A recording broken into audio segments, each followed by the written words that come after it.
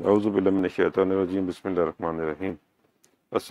नाजरीन कराम अच्छा नाजरीन कराम आज मैं आपके लिए एक थोड़ी सी मुख्तलिफ़ वीडियो लेकर आया ये एक ऐसे जादुई पौधे की तफसीलात और उसकी खसूसियात पर मुश्तमिल है जो तकरीबन तीन सौ बीमारियों का इलाज कर सकता है और अगर हम उसे रूटीन में चाय, काफ़ी की तरह इस्तेमाल करना शुरू कर दें तो आप यकीन जानिए कि आपके बदन से बेशुमार किस्म की बीमारियाँ ना सिर्फ़ दूर होंगी, बल्कि आपके बदन में एक नई ताजगी और चुस्ती पैदा हो जाएगी।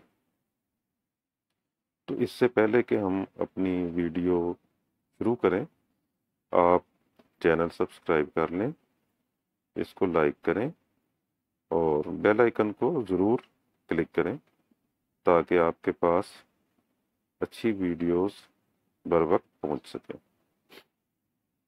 नादरीन कराम, सुहाजना, जिसको इंग्लिश में मुरिंगा भी कहते हैं, ये अपनी जादुई अफादियत की वजह से दुनिया भर में कृष्माती दरख्त कहलाता है। इसका इस्तेमाल मजमू सेहत से लेकर खूबसूरती में इजाफे के लिए भी माविन है। कहा जाता है कि इसमें बहुत सी बीमारियों का इलाज मौजूद है। और इसका असल वतन जो है, जनूबी पंजाब, पाकिस्तान है। यहीं से ये पूरे बर सगीर और बाद में दुनिया के दीगर इलाकों तक पहुँचा। पाकिस्तान में पंजाब और सिंध में इसके पौधे आम तौर पर पाए जाते हैं।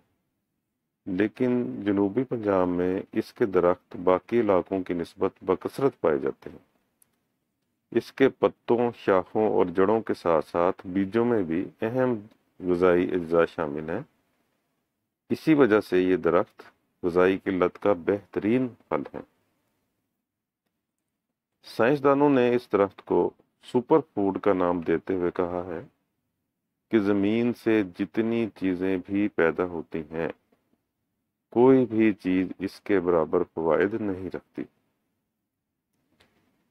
इसलिए इसे तमाम चीज़ों का सरदार भी कहा जाता है।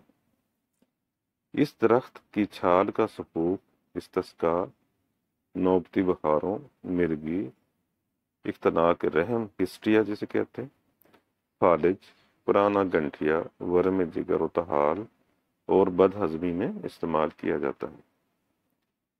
इस दरख्त की छाल या इसकी जड़ की छाल का जो शानदार या इसकी ताज़ा जड़ का रस भी जिगर की खराबी से पैदा होने वाले इस तस्का यानी पेट और फेफड़ों में पानी का पड़ जाना में मुस्तामिल है। इस जो शानदार से गरारे करने से मुँह की छालों और मसूड़ों के दर्द में आराम आता है। इसके बीज भी इस तस्का के लिए इस्तेमाल किए जाते हैं। इसके बीजों का तेल, नकरस और गंठिया के इलाज में बतौर मालिश इस्तेमाल होता है। इसके फूल बाज़ात दूध में पकाकर बतौर मकवी बा इस्तेमाल किए जाते हैं। इसके फूलों का रस दूध के साथ दाफे संग मसाना या मसाना की पथरी के लिए बहुत फ़ायदेमंद है और मकवी मैदा भी है। दमा में यानी अस्थमा में भी इन फूलों का इस्तेमाल मुफीद है। इसकी जो न्यूट्रिशनल वैल्यू है, वो अगर आप देखें तो आप हैरान होंगे कि इसके 100 ग्राम पत्तों में vitamin A thiamine B one B two B three B five B six folate vitamin C इसके अलावा मिनरल्स में calcium iron magnesium manganese phosphorus, potassium, sodium, zinc, यानी कि ये एक natural multivitamin and mineral capsule आप इसको कह सकते हो। और ये बड़ी हाई क्वांटिटी में मौजूद होते हैं, जो इंसानी सेहत के लिए ऑलमोस्ट रिकमेंडेड वैल्यूज़ हैं या डोज है, उसी के आसपास होते हैं। इसके अलावा इसमें वाटर का जो तनासब है, वो 78.66 ग्राम पर हंड्रेड ग्राम होता है। तो इस कदर शानदार वाइटामिन और मिनरल से भरपूर गज़ा है कि इसका तस्वर ही इंसान को चुस्ती और चलाकी की तरफ़ ले जाता है।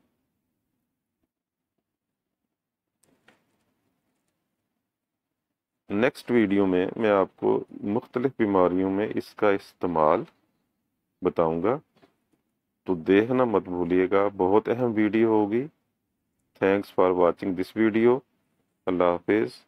अपना ख्याल रखिएगा। अल्लाह ताला आपको हर किस्म की बीमारियों से महफूज रखे। आमीन।